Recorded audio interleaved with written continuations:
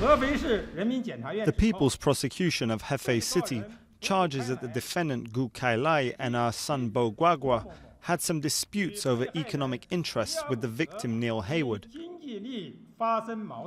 Gu Kailai thought Neil Heywood had become a threat to the personal security of her son Bo and decided to kill him.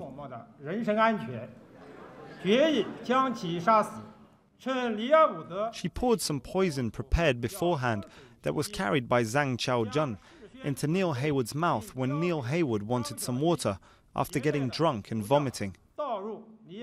This caused Neil Heywood's death.